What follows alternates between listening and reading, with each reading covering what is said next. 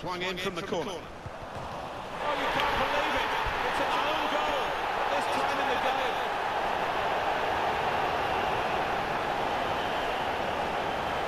Well, it is a goal. It is his own goal. I don't think there's much doubt about that, Alan. No, none at all. You're in those positions so often, and sometimes it just goes on. Well, it's a goal worth replaying over and over again, isn't it? Well, a total miscalculation and a very bad time to put the ball into your own net.